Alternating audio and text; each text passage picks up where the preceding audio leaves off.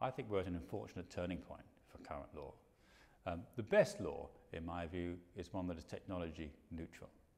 And we're seeing time again with new legal developments, law that's not technology neutral and is going to have undesirable and presently uncalculable effects on new technologies that we want to use.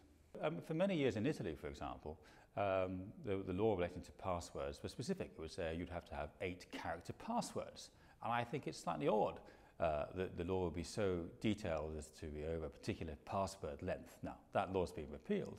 But in new law, uh, for example, in the financial services arena, we have laws relating to strong authentication about how you access your online services, and it's very specific about how it must be done, the way the passwords work, the security that's used, even um, the checks you need to make of your mobile device to see it's been rooted or not. It just seems crazy to be so specific about today's technology. We want that, those laws to last us for five or ten years. Lawmakers cannot uh, keep up with the speed of innovation, nor would they be expected to. So I think their approach is probably wrong, and uh, it'd be better uh, if, if we can go to a more neutral presentation uh, when they write the laws that we need. The trick is, is really better lobbying by companies, both now, of course, in the UK and in Europe.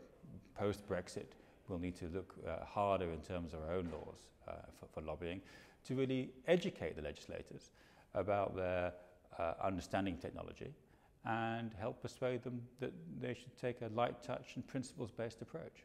Uh, both in cybersecurity and for other technologies, uh, you know, we've seen some kind of crazy examples. Uh, we've seen laws that regulate cookies, so we've had those banners on websites. Uh, it seems odd that a lawmaker would require you to have a banner on a website about a cookie when there's a, a thousand other ways to track individuals uh, using browsers rather than just cookies, so that seems very odd.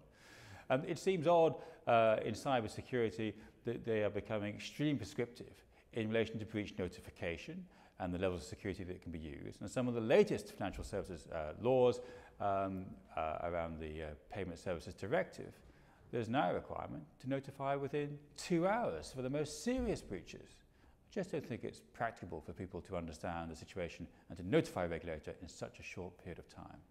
Now there is no better time and actually with this oncoming European law, the General Data Protection Regulation, this is a perfect driver for this.